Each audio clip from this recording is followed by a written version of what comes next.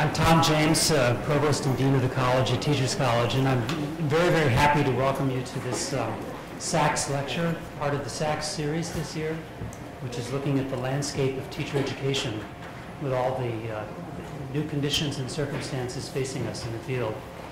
I'd like just to point out um, a little bit about the Sachs lecture, where, where this came from um, at Teachers College. Um, th- this is actually a lecture series that started in 1930. Uh, and what's interesting about that to me, when I think about um, our work this year with the Department of Curriculum and Teaching, is that that's roughly how old the Department of Curriculum and Teaching is. It came into being back in that same era, um, 85 years ago, uh, more or less, um, in the throes of the Depression, um, at a time when um, the profession was challenged, when society was um, uh, ruptured by, by great dislocation. Um, that was the time of um, Harold Rugg, who was in the Department of Curriculum and Teaching, uh, suggesting um, that we needed to form a new paradigm for a critical education that would look at democracy through a new lens, problem-based view of democracy. And it was in that era that the Sachs lecture began. Um, it was also the era of George Counts in his book, Dare, the Society, Dare We Build a New Social Order, and about teaching being part of a, um, a really an emanci- emancipatory framework, again within the context of the Depression. Um, so here we are again. You know, the, in a sense, the Sachs lecture has come around, and here we are in 2015. You know, this venerable lecture series, um, asking those kinds of basic questions, and asking them at a time when um, there are ruptures socially when democracy needs to be reconsidered. And I think it's very fitting, and I, would like to, I, we're going to have an introduction of, of Thomas Philip here, but I would particularly like to welcome him to this cold climate that we have produced coming from, from there, to come across the country to land yesterday. You know, yesterday was like, so this is an intrepid uh, person that got here for this. And Lynn Goodwin, Vice Dean uh, for Teacher Education and Professor in the Department of Curriculum and Teaching is going to introduce him. Thank you. Anyway, it is my great pleasure to introduce um, our Teacher Education Landscape speaker um, tonight, Thomas Marukara Philip is an assistant professor. In fact, you know, lots of the information is already up here, so you know that he's an assistant professor at UCLA, and that he also works in uh, teacher education um, at Center X. Um, and uh, teaches in the Division of Urban Schooling.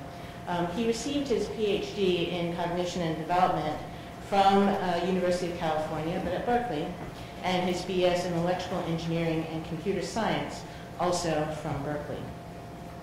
So interestingly enough, um, Dr. Philip started his career as a science teacher um, in high school in South, South LA.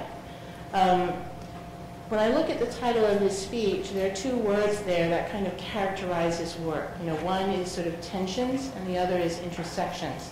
And he talks about what he calls productive tensions that exist between theories of ideology and learning. And so he tries to bring sort of lenses that don't necessarily um, um, belong together, lenses that are not necessarily put together um, uniformly, in order to examine, you know, various issues, particularly questions of race and racism and people's perceptions or teachers' perceptions of them. So his research focuses on the relationship uh, between ideology, uh, particularly racial ideology, and the work of teachers. And he talks about his own work in terms of two strands. Um, so the first strand is basically how do teachers make sense of their work in a context where there are sort of competing um, discourses um, uh, sort of associated with power. Um, so how do you make sense of what you're doing and why you're doing it, particularly in more formal settings such as teacher education programs or professional staff development. And then the second related theme is how does the larger ideologi ideological context influence teaching and learning and how might teachers engage in reshaping the ideology. So one is, you know, the first round is about how these ideologies impact you, and the second is how do you kind of work with, work within, work outside um, those ideologies and kind of push back against um, constraints. his work is um, not just unique, not just interesting, not just thoughtful, um, but also has received a great deal of attention. And so he's won a whole string of awards, and I'm just going to share with you um, a couple of them. So one is the um, American Educational Research Association Division G, which is Social Context of Education Early Career Award. And he also received an award from Division C, Learning and Instruction, from also AERA, the Jan Hawkins Award for early, early career contributions to humanistic research and scholarship in learning technologies. And I'll talk a little bit about technology in a, se in a second. And then the third is um, an award for um, his research in, um, in multicultural work um, from the National Association for Multicultural Education, or NAME, where he received the Carl A. Grant uh, Multicultural Research Award. And if you don't know Carl A. Grant, um, then you should. Um, but Carl is one of the sort of key scholars um, in multicultural education, and so it's a great honor that um, Dr. Philip received this award. There are articles um, that uh, are, are related to his talk tonight that um, are on the website, and I certainly would recommend them to you. But I thought I would share um, a few other pieces because um, he is a multidimensional scholar and has, of course, you know, several strands of inquiry um, that are related and connected. So one is um, sort of research around teachers of color and research around Asian Americans. So one example is moving beyond our progressive lenses recognizing and building on the strengths of teachers of color in the Journal of Teacher Education. Another is Asian American as a political racial identity, implications for teacher education. And the last around um, you know, Asian Americanness is new starting points, uh, becoming Asian Pacific Islander educators in a multiracial and multicultural society. I, talked, I said that I was going to say something about technology, and part of his work intersects is at the intersection of teaching and technology. So one example of his work um, is an article entitled The Importance of Still Teaching the I Generation, New Technologies and the Centrality of Pedagogy from the um, Harvard Educational Review. So we are very, very pleased um, to welcome you. Um, we are anxious to hear your talk, and so please join me in welcoming um, Dr. Thomas. Um, so my, my plan for the day is, or for this evening, is to spend the first third of the talk thinking about why we should continue to address race in teacher education and explore the contemporary context or political context of addressing race in teacher education. Um, and the last two thirds or so, what I'd like to do is think about ways in which my research is a, is a piece of a larger project of advancing teacher edu education's engagement with issues of race, racism, and racial justice.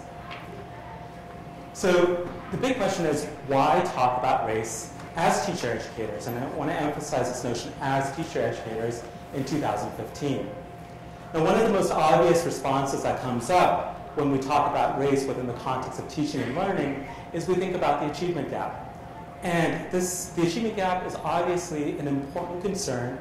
It's important in terms of thinking about how people access the culture of power. However, if we step back another le level, what we need to remember is that schools and programs of teacher education are sites where we learn to construct, consent to, navigate, challenge, and re-envision our racialized society.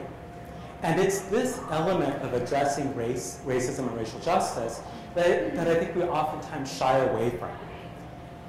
And if, if we take this, uh, if we take this idea that schools and teacher education programs is a place where we learn, relearn, unlearn, uh, how, how, what it means to be racialized in this society and to operate in a racialized society, the question then is, what sort of society do we now live in?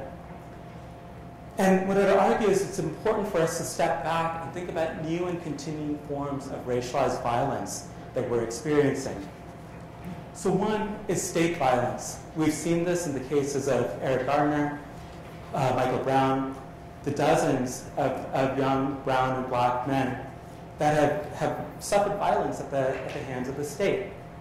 We've seen this in how our nation handled uh, the arrival of tens of thousands of young, young people from Central America last summer.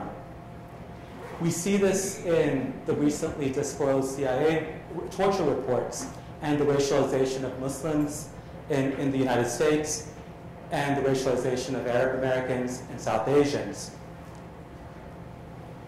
We see systemic violence and in, in terms of the disparate opportunities, the disparate uh, outcomes for, for racialized communities across this country. And we've seen it in terms of emotional and epistemological violence, um, such as the, the banning of ethnic studies in, in Arizona. So if this is the state of new and continuing forms of violence in our country, we need to step back and think how schools are sites for reproduction and transformation.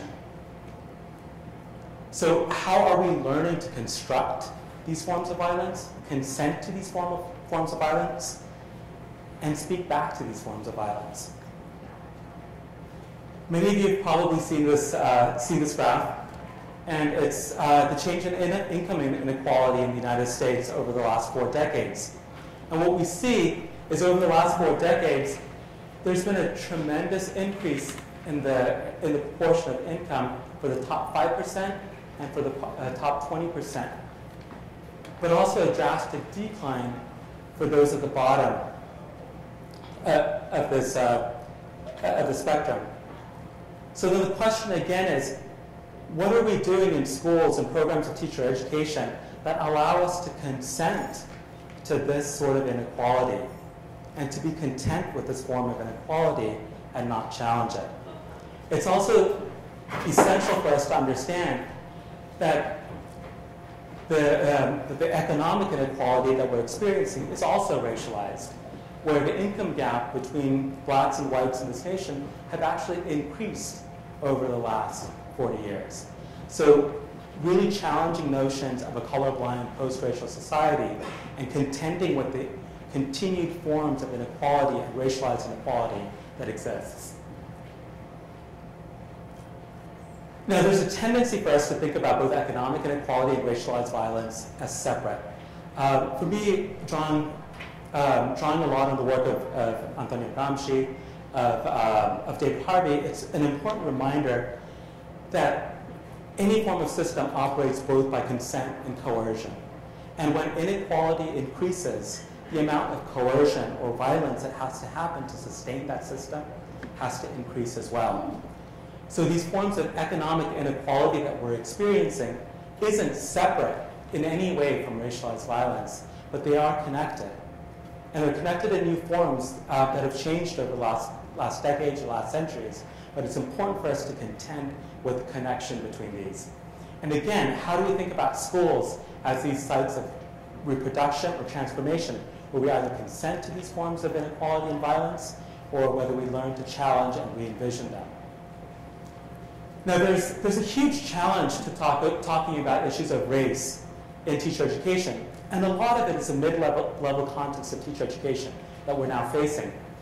We're seeing a tremendous amount of deregulation, whether it's uh, the GREAT Act, whether it's uh, the increase of programs such as Relay, uh, the TFA, where there is a push for deregulation. But we've also seen a tremendous amount of control uh, from, the, uh, from NCT, um, the National Council for Teacher Quality, uh, for the new uh, proposed federal regulations on, on teacher education. And while deregulation and control might seem uh, disconnected, again, from a, uh, from a perspective of neoliberalism and a critique of neoliberalism, these are very much coupled, and it's important for us to, uh, to see these connections. But we've also seen critiques of teacher education programs, university-based teacher education programs, for being overly theoretical and ineffectual. And those critiques have come from both outside, such as Arne Duncan, but also from within. And, and uh, as many of you know, your former uh, president, Ar Arthur was it? Levine, yes. Um, these critiques have been prevalent throughout the, throughout the academy, so it's important for us to contend with them. There's a, but it's also important for us to understand that past these mid-level contexts, all of this is happening within the larger uh, context of neoliberalism and market-oriented reform that goes beyond teacher education. So any challenge, any form of challenge to teacher education has to be understood within the larger, within the larger political context and how, how thoroughly it's affecting every aspect and every institution in um, it, globally and, and domestically. So at this point of intensifying inequality, the question is, what are our questions? What are our strategies, approaches, and visions moving forward? And when, when, I've, when I've had this co- conversation with a lot of my colleagues, the major responses that I get is one, it's a question of survival. If we are to survive, we need to adapt. The other, the other um, response that I often hear is that we need to stay relevant. As university-based teacher education programs, if we're going to stay relevant to the larger debate, we need to adapt in order to enter that conversation. And ultimately, there's a sense we're trying to do our best. And we're moving within a system and we're trying to do our best.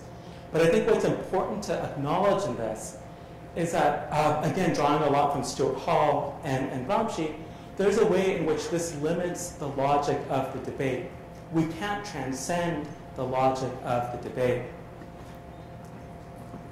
So while I argue it's important for us to acknowledge this and for us to respond to it strategically, it's also important for us to, to really think about teachers and, and recognize and support teachers as conscious social agents in a stratified democracy.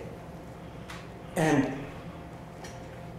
and this, this notion, I think, again, going back to what, um, what Provost James alluded to, and I didn't realize the, the history of the Sachs lecture, is that this notion of recognizing uh, teachers as conscious social agents emerged within this space. And, and, and I think that's what's so profound to be in this space now. I'm thinking about uh, scholars such as Harold Rugg, uh, William Kilpatrick, uh, George Count, who really understood the importance of recognizing teachers as social, conscious social agents.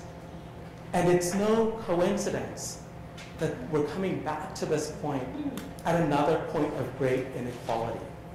Right? That this, um, this, this recognition of the role of teachers emerged within the context of the Great Depression. And as we come out of the Great Recession, that has, uh, has, has made this country even more inequitable, how do we return to these principles? And not return to them as if they were an absolute, but find meaning for what they, uh, what they tell us today in our contemporary political context. So why, when we say, when we think about teachers as conscious social agents, why are we emphasizing this notion? And, and, it, and for me, part of it is really understanding the notion of um, the responsibility and role of teachers as, as people who shape society. And again, very different than a sense of preparing, preparing young people for, for jobs, preparing teacher, uh, young people for the citizenry, but really shaping society. And that the work of teachers as happens at the intersection of student learning and experience, uh, communities, structure and ideology, and po policy. And it's where this work comes together that the classroom cultures they create can be microcosms of democracy. It can be places where we learn to practice democracy. It can, it can also be places where we learn to consent to authority. So it's, it's not to glamorize this, uh, this space, but it's to understand the potential of, of the space that teachers create. And with the hope that this can then transform society. There's also a sense, whether it's, um, whether it's uh, market-driven approaches or even, uh, I'd argue, uh, more progressive approaches to thinking about the work of teachers, oftentimes we prescribe what teachers should be doing, as opposed to recognizing teachers as conscious social agents who understand their own political space and then engage with it. And particularly given all the different uh, pressures that teachers are feeling, it is essential for teachers to understand their own political context, for them to then forge a solution in solidarity with communities, with students, and teachers. And, and we can look to the work of Pauline Lipman or uh, Lois Weiner to, to understand models in which teachers can work in solidarity with others as they understand their own political context, and these cannot be prescribed by us from beyond. And, and the last is really thinking about the, um, how teachers shape purpose and pedagogy in the classroom. And we've seen this whether it's Doug Lemov's Teach Like a Champion, and again, I hesitate putting that on the same page uh, or the same slide as high leverage practices, which I think high leverage practices, again, offer a lot for teacher education. However, there is a way in which this, uh, any major reform effort is, is, is wrapped in the language of success for all. And if we, talk, if we talk about success for all, as Danny Martin reminds us, racism can be hard to see. And in, in trying to succeed, uh, ensure success for all, we oftentimes forget or obscure or look over what it would mean uh, to attend to the specificities and particularities of different groups.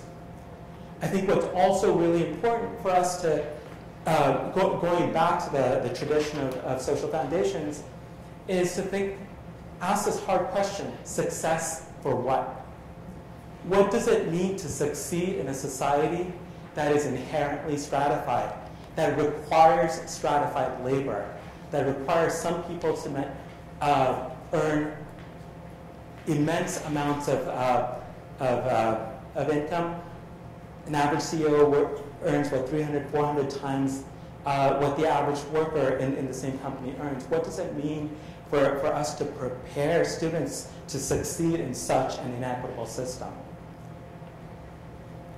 So it's, it's this space of thinking about how do we advance teacher education's engagement with issues of race, racism, and racial, race, racial justice. And I do want to hone in on this notion or this construct of recognizing and nurturing teachers as social agents who are committed to racial justice in a stratified democracy.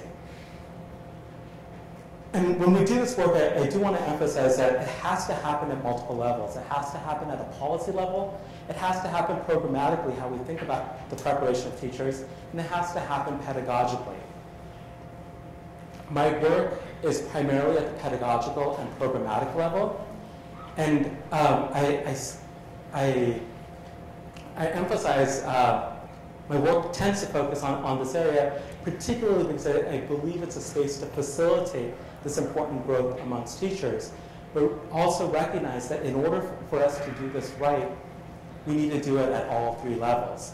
And in the past, when, when we look at past examples, we do see the failings or, or, or the shortcomings of trying to focus on just one dimension.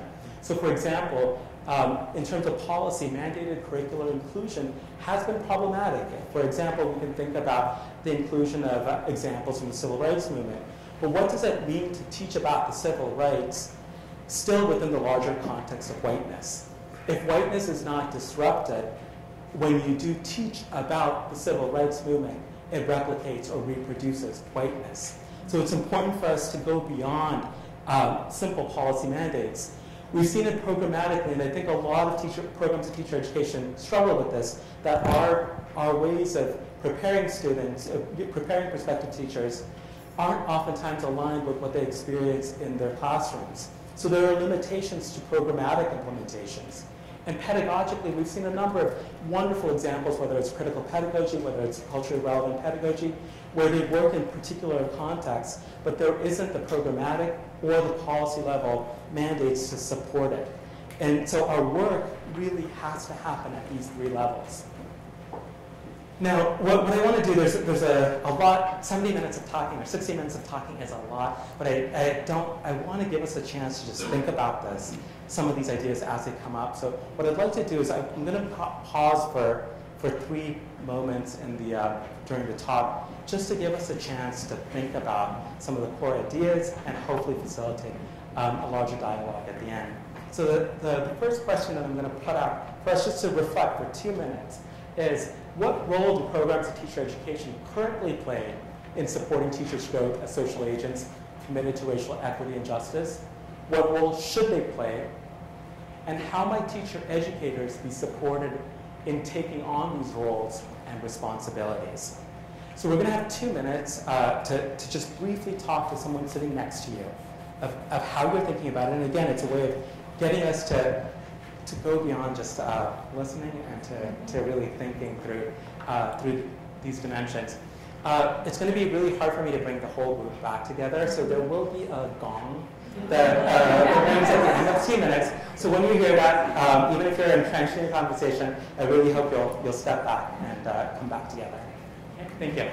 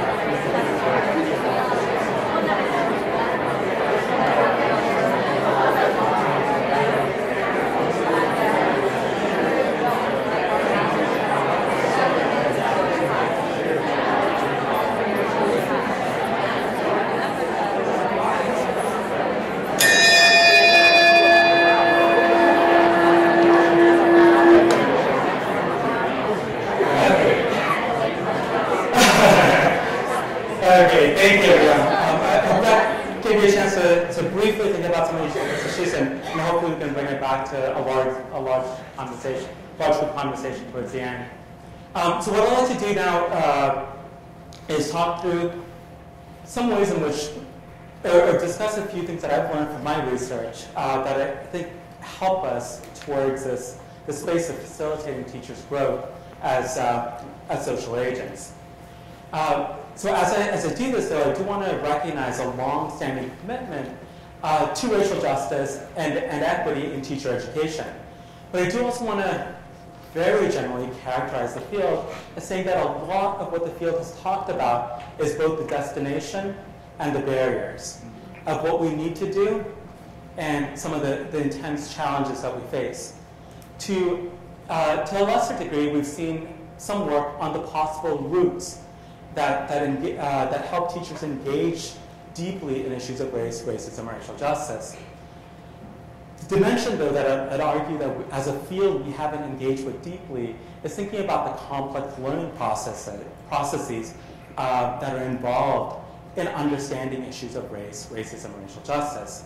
And, and part, of, uh, part of what I'd argue is by understanding these, uh, these learning processes, we can, we can hopefully move past some of the barriers and understand why some of the possible routes work in, in terms of leading us to what we see as a at least temporary destination.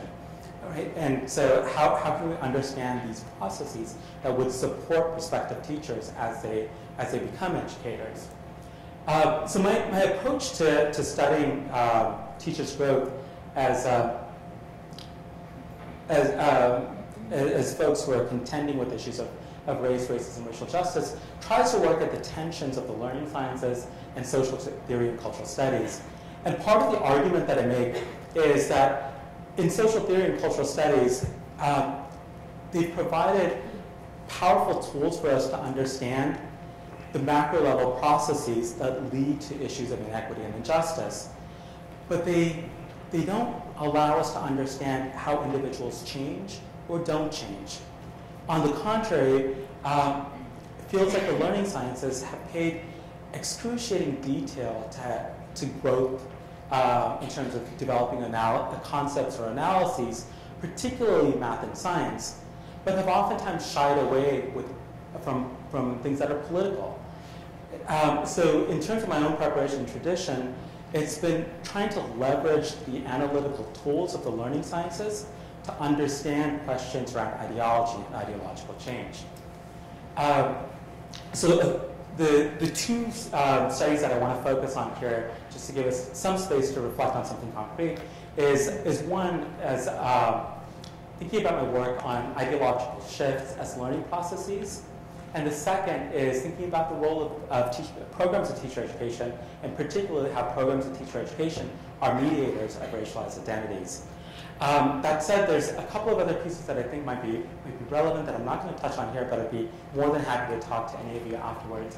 Is, um, is some of the work that I've done in my social foundations of education class and thinking about how it is that we articulate purpose when the purpose of a social foundations class often seems so distant to the immediate needs of students and how we create a context of purpose within those spaces.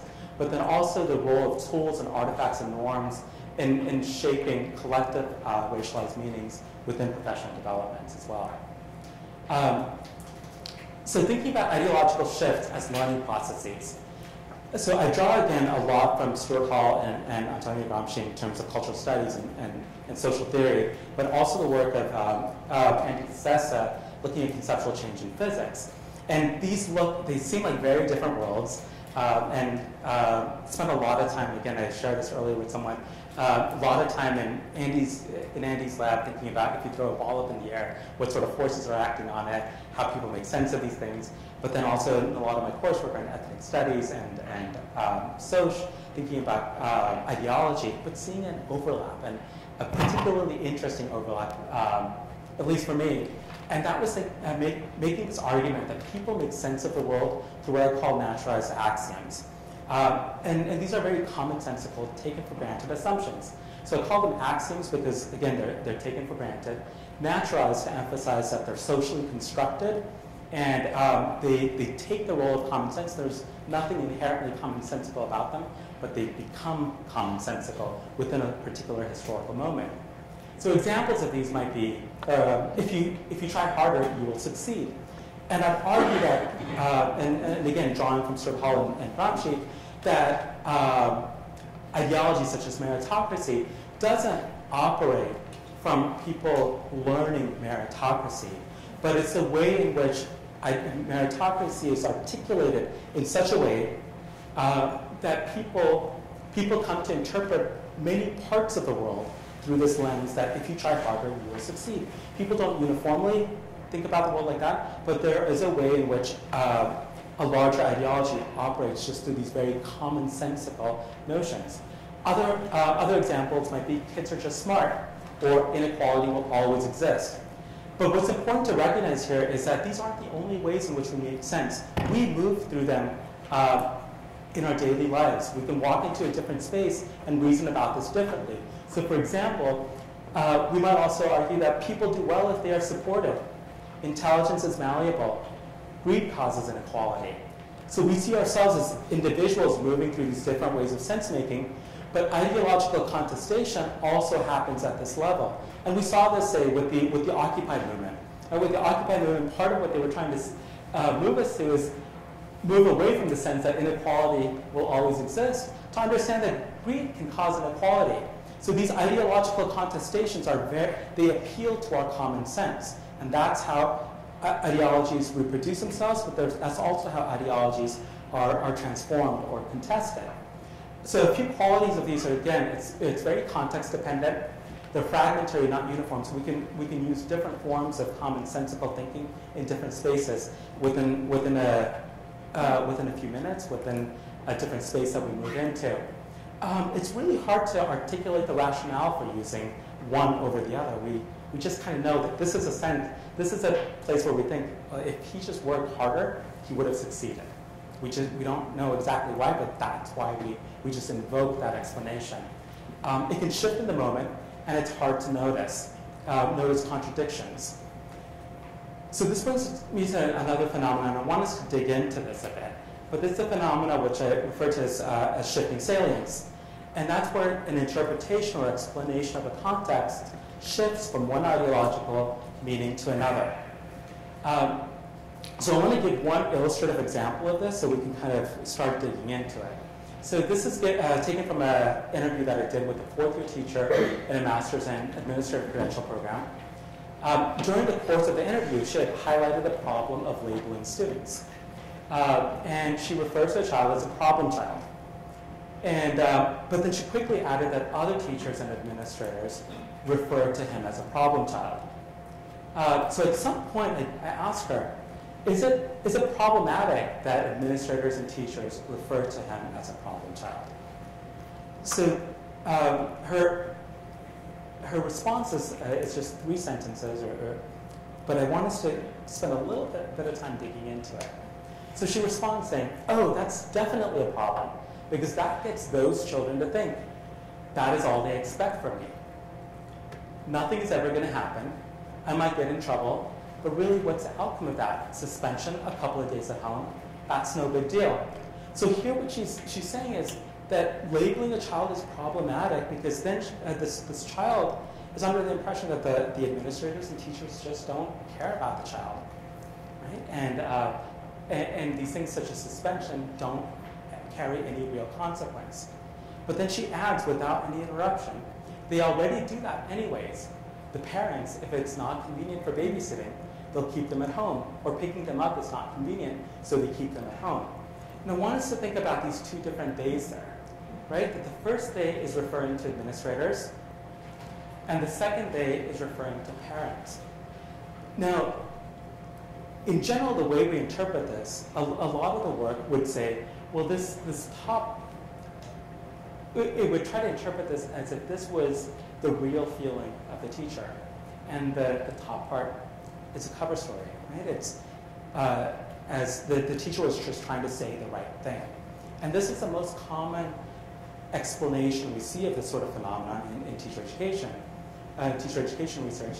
But what I'd argue again is that this teacher doesn't hold one belief, right? She's, she's holding multiple ways of sense making and she's holding these both of these ways of sense making at the same time. So there's there's something to build on in terms of her systemic critique of administrators and, and, and teachers, but there is a way in which there's a tendency for us to then, as we as we talk through things, to oftentimes settle in on a deficit framing of, of students and parents. So how do we understand holding multiple perspectives at the same time? and what that means for the process of learning and unlearning ideologies. Now, that, that was an example of an instance, but I do want to spend a little bit of time also thinking about what an extended period of change might look like.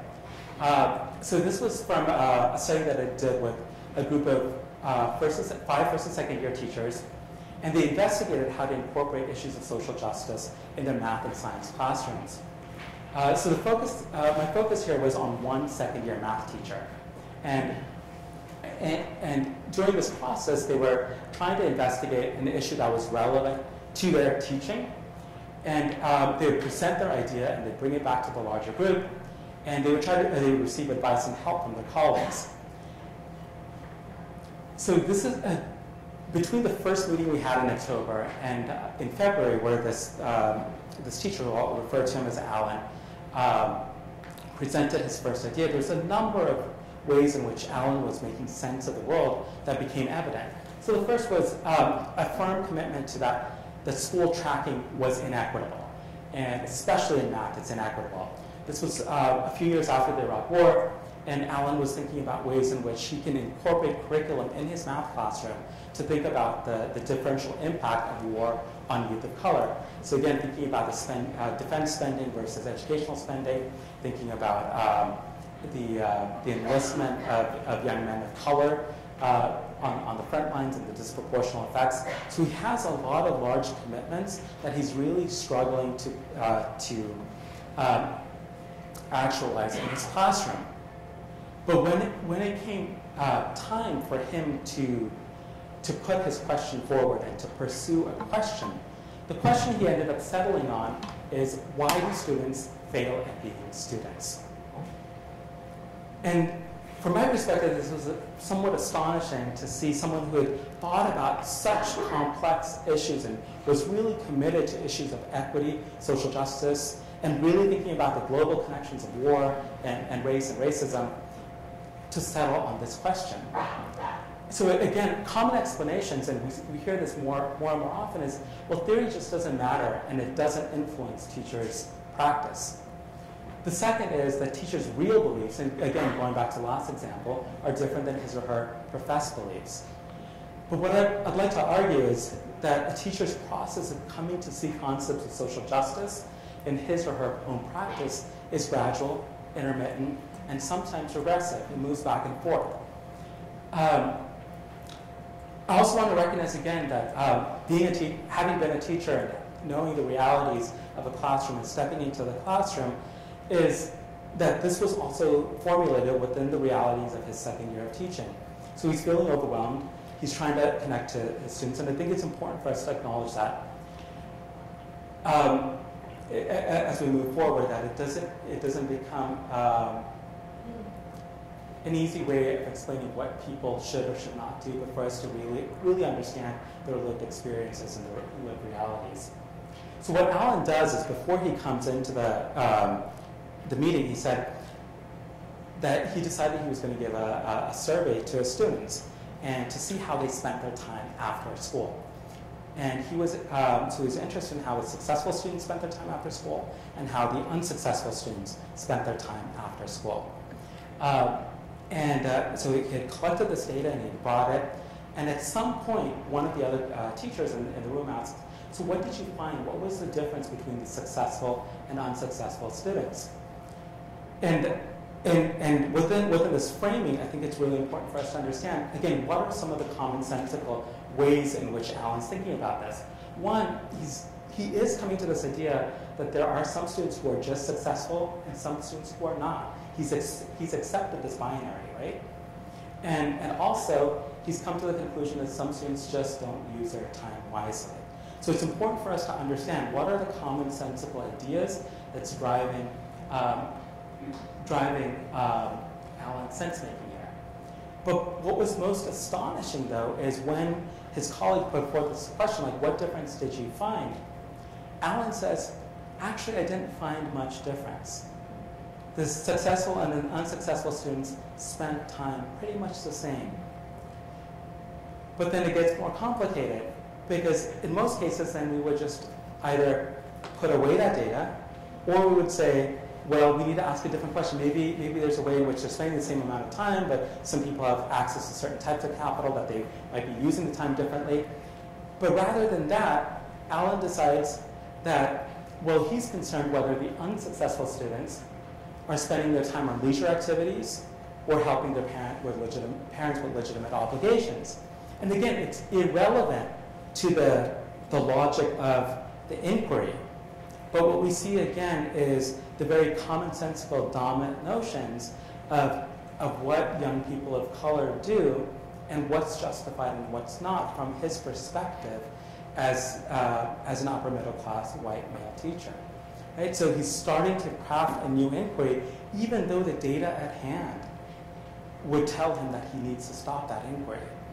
Um, so at this point, after, uh, after this, I follow up with an email and I, I urge Alan to, that we should really examine our own practice as teachers. We should assume the best on our part, on the part of students and parents, and I draw a lot of Pauline Lipman's work. And um, we should focus on classroom school practices over which we have control. And Alan responds saying, yes, I'll be careful not to blame students. So, so I, I, I do, at, at, this point, I'm, I'm assuming we're sort of on the, we're starting to get on the same page. Um, but it was also starting to help me understand how this concept can take on very different meanings, right? So the idea that teachers shouldn't blame their students or shouldn't hold deficit views can mean very different things. So one might be a, a sense of ignoring deficits, right? Like really, at a very fundamental level, um, students and their families don't have uh, the right set of values or choices, but I'm going to ignore them. Or it could mean, well, they, uh, they're, they're making choices that aren't the best choices, but that we have to understand that, that within their, their social context and it's not their fault. Or the, the position that I was working more from was that the very act of blaming students is one way in which uh, dominant narratives reproduce themselves, right? We are actors and we reproduce, uh, we reproduce these inequities and injustices. So they're very different meanings, and oftentimes in teacher education programs, when we try to develop shared languages, we don't dig deep enough in terms of thinking about what are the multiple meanings. Uh, so we might be saying the same things, but are we meaning the same things? Uh, so Al Alan comes back in March, and he he presents uh, presents his uh, inquiry yet one more time. But at this point, he's he's come to the conclusion that students it's really about students not coming prepared. So they're not coming prepared either because they're not motivated, they don't plan ahead, or they don't have the right home environment. So Alan decides that it's about planning ahead, and he really wants to get them to think about planning ahead. Um, but what, what, what I argue is an interesting change at this point, or a really important change at this point, is he starts to see that change needs to come from student self-reflection, and there's something that he can do as a teacher in, in his own practice to support that process of reflection. And there I'd argue is this new emerging concept of teachers, uh, how, how he comes to understand teachers blaming students, and starting to understand both the agency of students, but also the potential of teachers to support that agency. Um, but as, as he had settled on that, I, uh, this was one of the few instances, again, where um, I took a proactive stance and interrupted that conversation. Um, but it, I prompted the group to consider the political nature of questions, how we might reframe Alan's work as why, uh, instead of asking why do students fail at being students, how can we reframe it as why do schools fail students at being students? And, and really thinking about, rather than focusing on kids not being motivated, how we can understand the ways in which schools potentially alienate students. Um, and at this point, again, Alan, Alan says that he'll drop the idea of successful and unsuccessful students, and he goes back, he'll go back to the big picture to see what teachers can do. And, and this, I'd argue, is a, is, a, is a really critical transformation in, in Alan, where he starts to, start to see that the framing of his question was problematic in the first place. Um, and, and, evidence of that starts to come up in the, in the following meeting when I um, made a short presentation on, on the making of the urban, and we discussed George Lipsitz's work uh, around possessive investment of whiteness. And Alan was the first person to respond. And Alan says, I feel a lot of times when we talk about schooling, what our role as teachers is, it's very hard for us to hold that big, these big pictures in mind as well. What does it mean to be teaching in a system where, where it is not accidental that poverty exists? It's not accidental that there is a huge disparity of wealth. I think it's very easy for us to fall back on it's a family, for example, or it's a lack of opportunities. But to what extent are those lack of opportunities built very much within the larger system? And, and, and again, thinking about how growth, growth happens, is not only within the teacher education program, but this was a, um, the week before Alan had visited his, uh, his cousins in a, in a school in a town, I'll call it Newberry, but it's the, it's the town in, in California that has the largest uh, median income. And he visited the school, and, the, and he described the school as being like a liberal arts college next to a country club, and really seeing the disparities, the real disparities that exist between his context there and the, in, in the East Bay.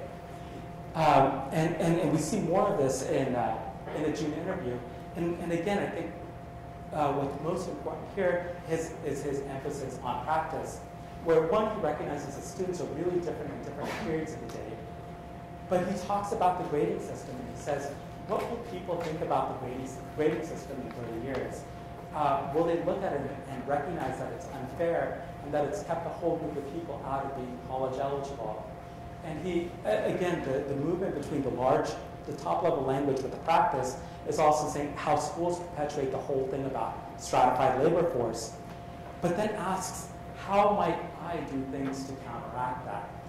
And how can I tweak things? How can I do things myself to change that? And he starts looking at his practice much, much more closely to think about how it reproduces an equitable system and how it might challenge it. So it's gone from a large abstract goal to something that's immediate to his practice.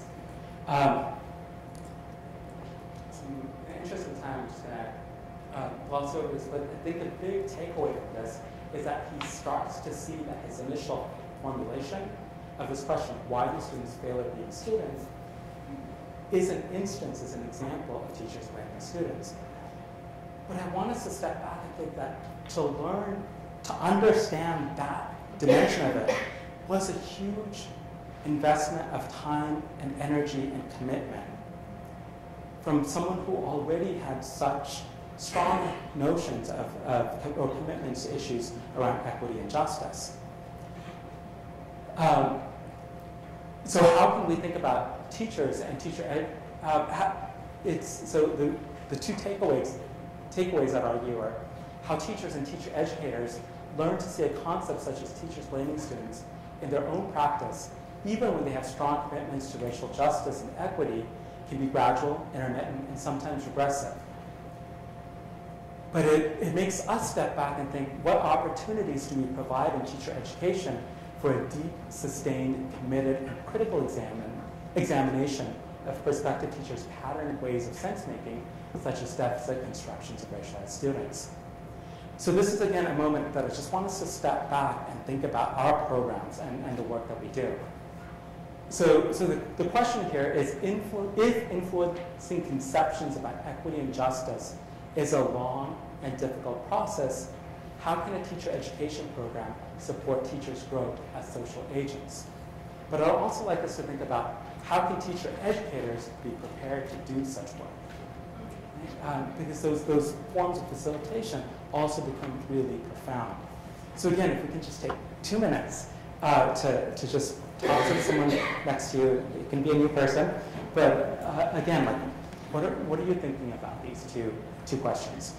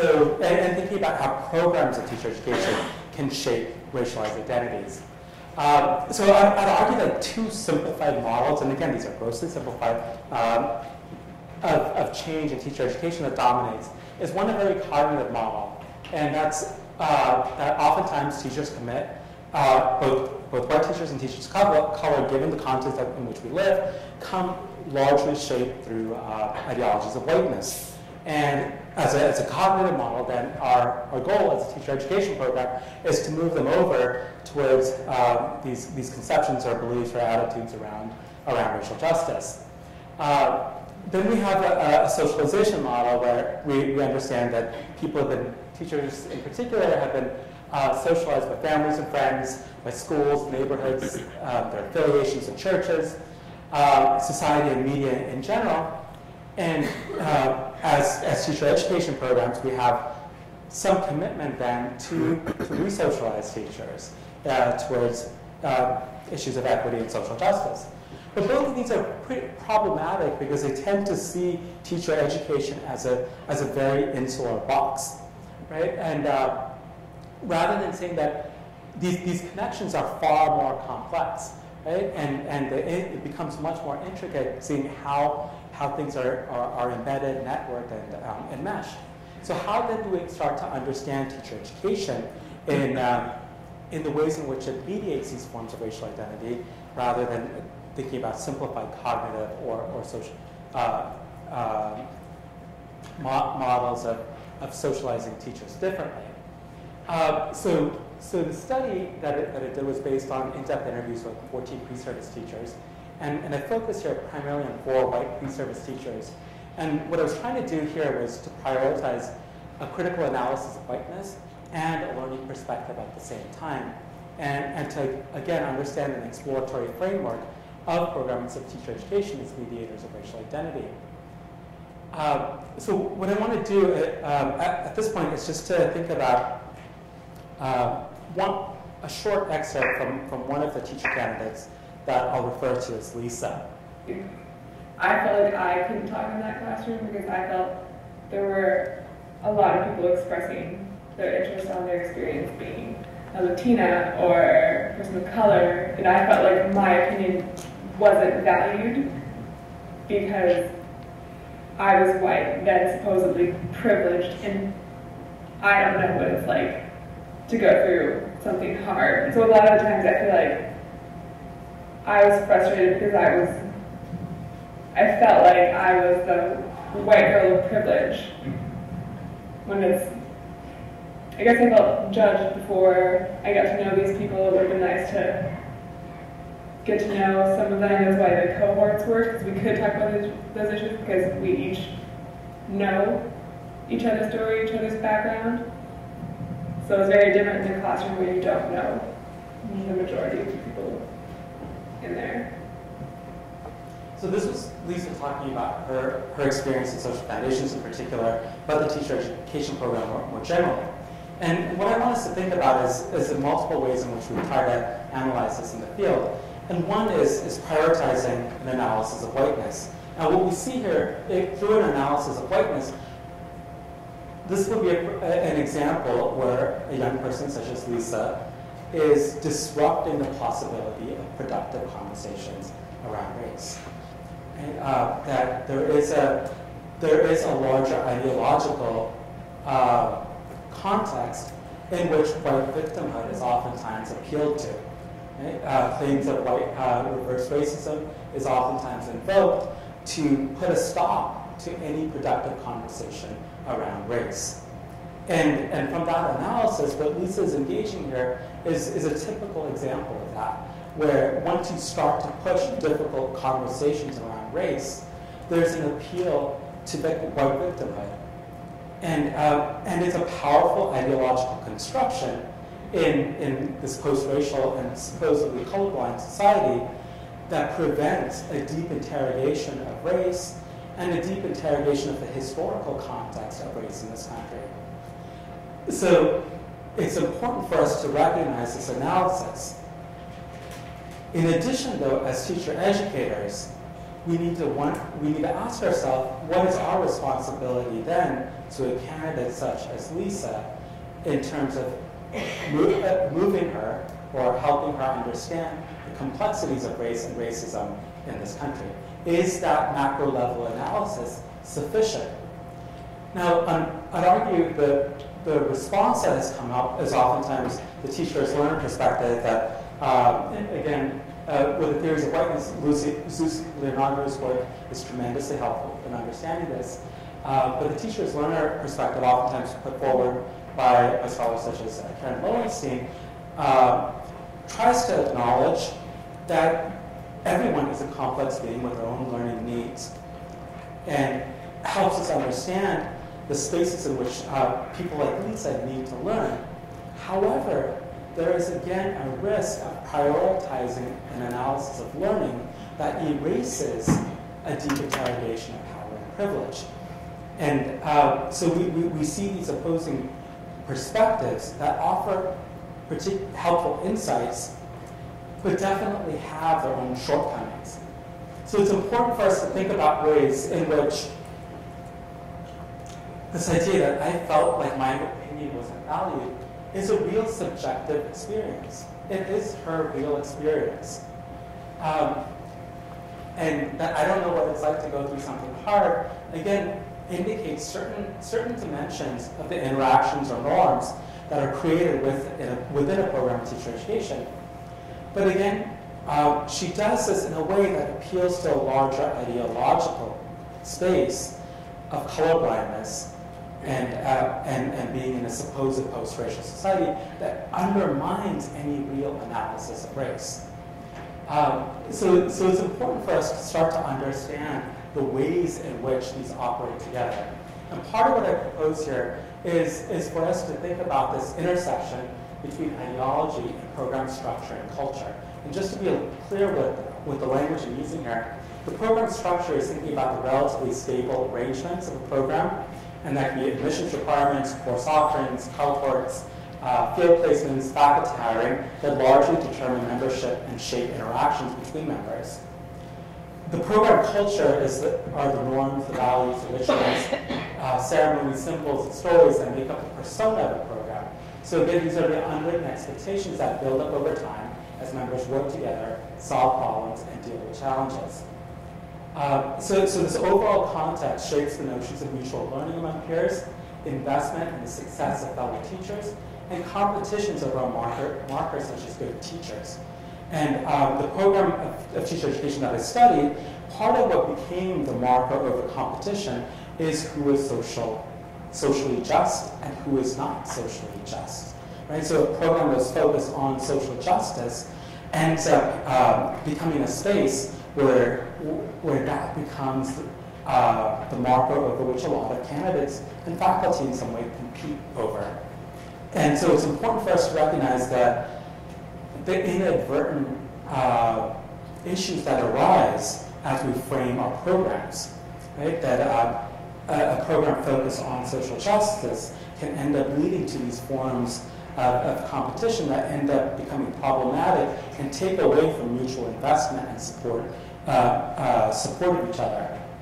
But what I argue again is like, um, when we think about the larger ideological context, there are many ways to be white in, in, our, in our society. Uh, one can be a white national, um, a nationalist. One can be an anti-racist white. One can be um, a liberal white. One can be a person who believes that we are past race and race doesn't matter. Um, there are many ways, ways of being white that are somewhat available within the larger ideological context. However, programs of teacher education tend to, um, whether explicitly or implicitly, do select for certain types. It's very rare that we will see in the white nationalist in our teacher education program committed to issues of equity and racial justice. There are ways in which certain identities are, are just excluded. Um, so I, I argue there are certain ways and there are certain available racial identities within teacher education.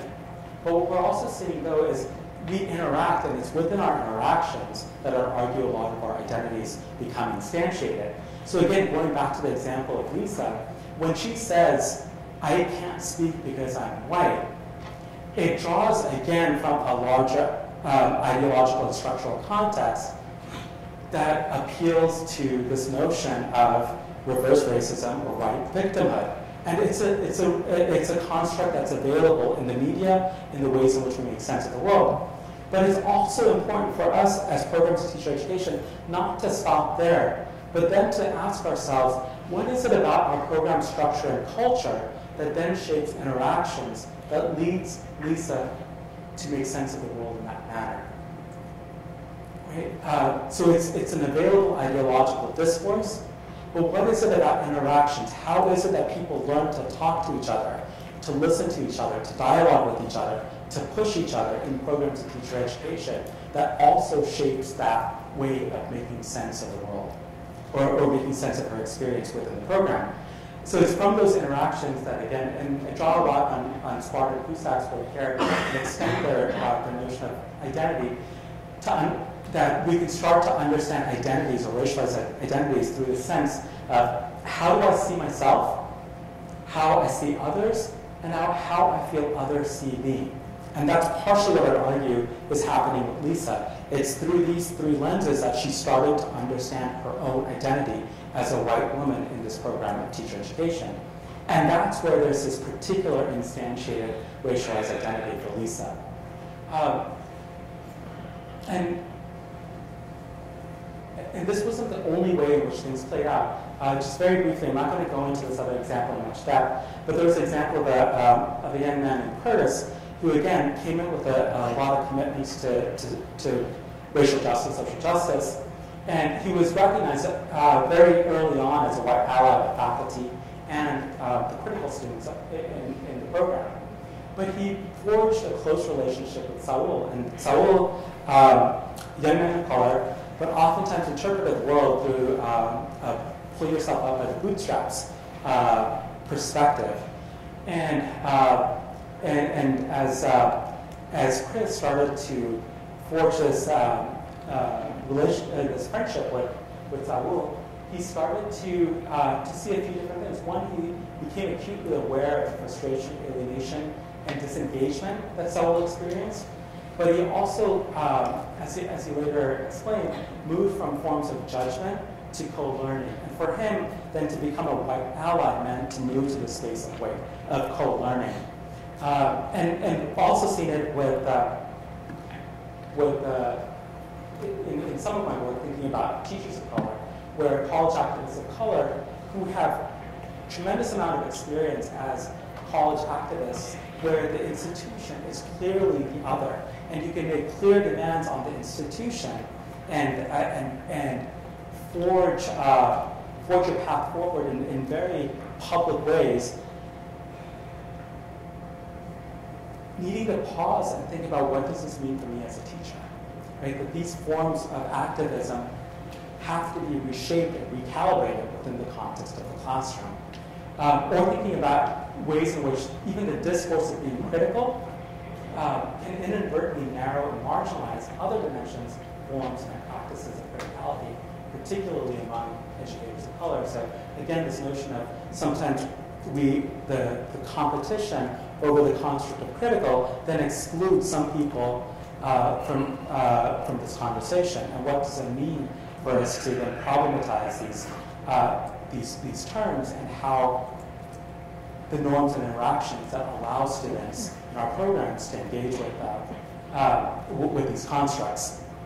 So the big takeaway for, uh, for concluding, I'm going to probably skip over the opportunity for us to stop and talk one more time. But the big takeaway for me is the need for the need to insert our own agency and choices as teacher educators in the analysis of prospective teachers' ideological shifts by highlighting our role as individuals who co-construct the programmatic structure and culture that partially instantiates these teachers' racialized identities. And, and, and again, I, why I argue this again is that we, we've oftentimes talked about why and why not teacher, prospective teachers move or how they move, how they don't move. But we do so in such a way that advocates our own responsibility as teacher educators in creating the contexts in which they learn or don't learn. And I think it's important for us to reinsert our agency and to understand our role in shaping these identities. Um, so I'm gonna I'm gonna skip over the, the chance that conversation around this, but, but the question in the back of our minds is, what are some ways in which the structure and culture of your teacher education program can be reshaped to support teachers' identities as social agents who are committed to racial justice and equity? And how can teacher educators be prepared to more closely examine and affect teacher education program's teacher education program structure and culture toward this goal? Um, so in the interest of time, I'm just going to skip over this and bring us to the end. Where it comes back to this question, what is our way ahead? Given the larger context of neoliberalism and market, market-oriented reform, how do we advance teacher education's engagement with issues of race, racism, and racial justice?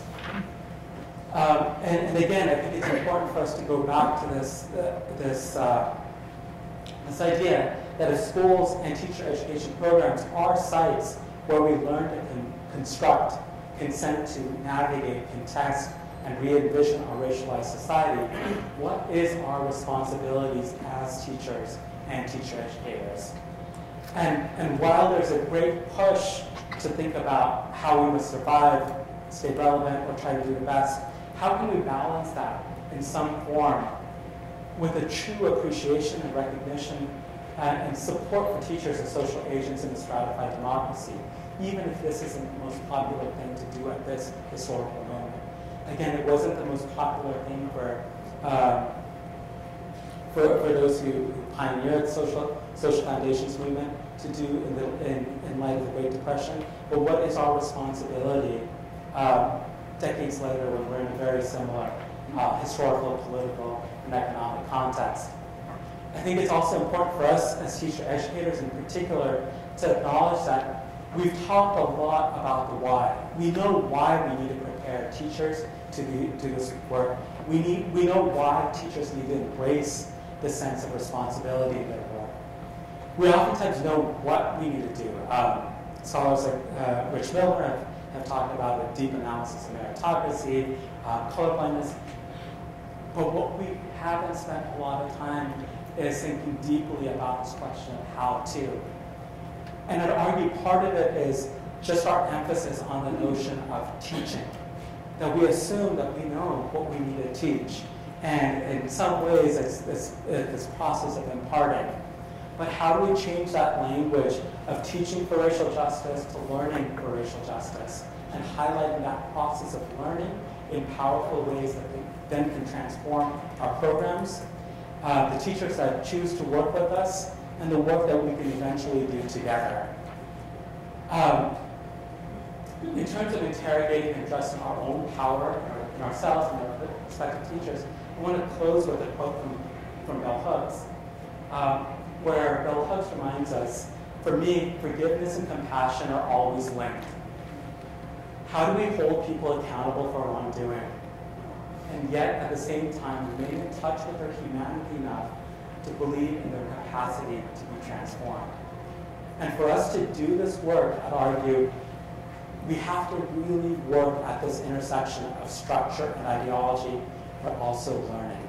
If we are to, if we are to acknowledge the historical contexts that have brought us here, if we, if we, if we are to engage with the deep injustices and inequities that we've inherited and we continue to reproduce, but we are committed to transforming them, and we're committed to growing as, as a collective we need these analyses to come together.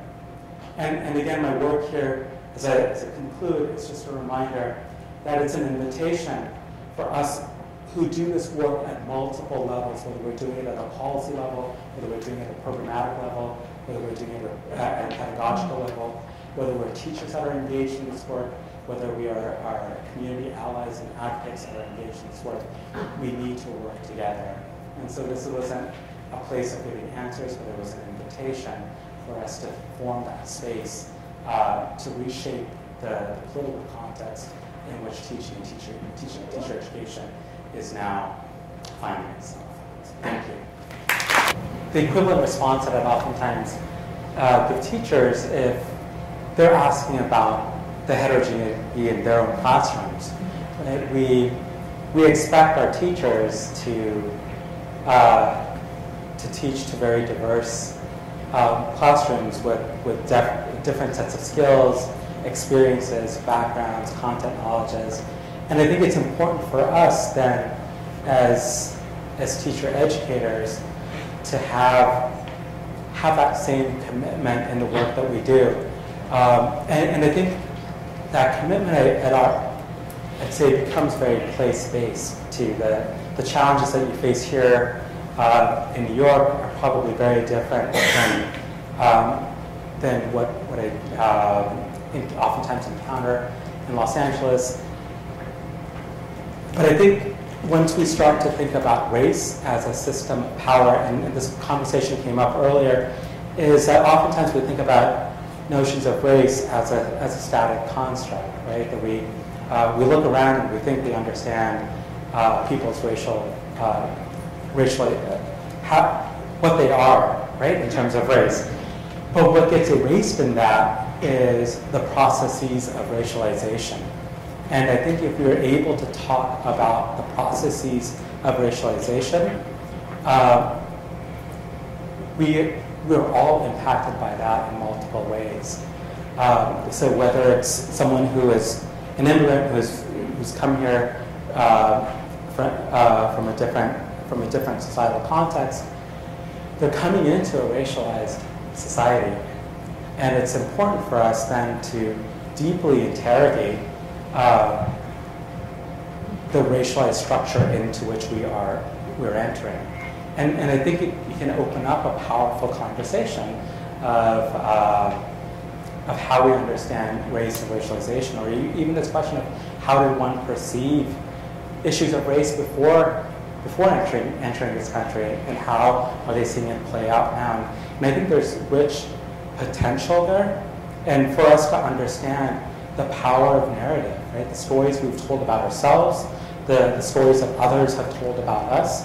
Uh, so if we're coming from a uh, upper class, homogenous uh, neighborhood, it becomes, a, and I think we saw that partially in Alan's case too, right? That Alan's ability to understand the experiences of Newberry and then contrast it with what, uh, what he sees as a teacher was a powerful learning experience for him. Uh, so I, I, do think if we go back to really thinking about processes of power and starting to engage in this analysis, like what processes of power are playing out here, uh, it gives us far more leverage to understand these issues and to engage in deep dialogue and to learn from, uh, from teachers and, and, and our, our students. And I meant, uh, again, in one of the earlier conversations I um, mentioned, that when we look at, say, classroom videos, oftentimes our first response is to ask this question, how do we see race playing out here? Right? Or how is a teacher differentially treating students based on race? Uh, if, if, we want to move towards a, a, a, racial dialogue, and this is productive, it allows us to see sort of differentials. But again, there's a, a risk here that it re, reinscribes this very static construct of race. So if we could ask that question, coupled with this, uh, following the question, how do we see students being racialized in this context? Or how do we see processes of racialization playing out here? I think then it helps us all engage in the space of uh, how do we understand race as a, as a, uh, as a system of power and how we see that operate. Uh, so I think, it, I think partially it's the ways in which we we shift the conversation, um, but partially ways in which we uh, understand ways in which we all are implicated within a racialized system.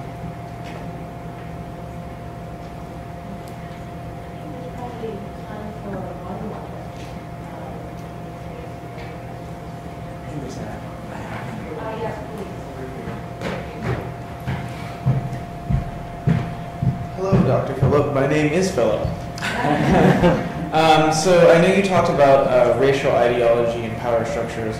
I wonder if you can hit on the ideology of ability, specifically because we have a disproportionate number of students of color being placed in special education track.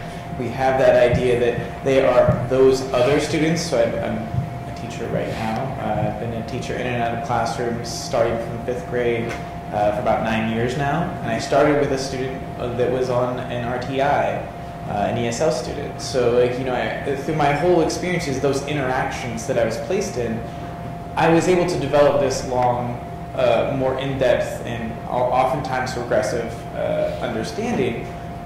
But it, it wasn't until there was a, like a deep interrogation on what I what I thought of ability was or capability was that I really started to interrogate interrogate racial ideology more. So how do you think that ideology ability of ability really plays into when we have dis- different tracks for teachers? Those teachers that are going to be teaching general education students that maybe get one quote unquote multicultural course that embeds uh, a disability or special education lens, and then those quote unquote other track of teachers that are going to be teach the special ed teacher, uh, special ed students. You know, because like if we still have that bifurcation, then where where are we really going to go? So yeah, thank you for that question. It was actually touches so much on a conversation I had earlier this morning um, with with uh, some colleagues here in terms of thinking about the the spaces of inter intersection. And I, I, do think oftentimes we think about forms of power and oppression and marginalization as being very discrete and separate. Um, but the question that you're asking, right, how do we start to see these intersections, is, is one of the most powerful questions for us to disrupt these forms of oppression. And, and especially with ability that it plays out at, at so many different levels. If we go back to even the sense of, of meritocracy, is very much uh, imbued with assumptions about ability and how ability is constructed. Uh, and and when we when we think about the historical construction of race, right, particularly its roots within the eugenics movement, right, we, we again see ways in which uh, constructions of ability and, and race have been so coupled together. And, and, in, and in perhaps frightening ways, we also see a reemergence of that language, particularly with uh, some of the new work in, in, the neurosciences that it tries to reinscribe uh, ideological constructions around ability and race that we've, we've worked very hard uh, over decades to push against. And uh, the reinscription of that within scientific language is, is really disturbing uh, from my perspective. Um, and, and, and for us to do this work, and I think it's essential for us to, to, to really get at that notion of ability and to, and to disrupt it in ways uh, that challenge some of the fundamentals around schooling. Right? Even schooling is very much based on very static and uh, notions of ability uh, that is still embedded in this idea of sorting people based on ability. It doesn't recognize uh, the dynamic nature of, of ability. And um, I think that disruption is essential for us to rethink the purpose of schooling, but also um, the possibilities of schooling. Um, and I think what's what's important for us to recognize is that sometimes when we think about these uh, these these constructs, they can they can feel overwhelming. They can feel as though there is no way out. Uh, but I, I, think it's also important for us to step back and, like David, uh, David Harvey uh, writes about this in, uh, in his brief history of neoliberalism. But neoliberalism in in the late 70s was a minority position, right? And but it was through an ideological contestation that it really took root. Uh, so what does that mean for us then to think about these as ideological contestations that we're continually engaged in? And we all have different roles in it. And, and I think even as, as teachers, and, uh, how we communicate notions of ability implicitly or explicitly to our students is one way in which we're either reproducing or transforming the larger system that we're, we have, uh, we're a part of. And the, the immense responsibility that teachers have in, in communicating different notions of ability within a system that's so, that makes it so difficult for us to even imagine a different, um, a different possibility.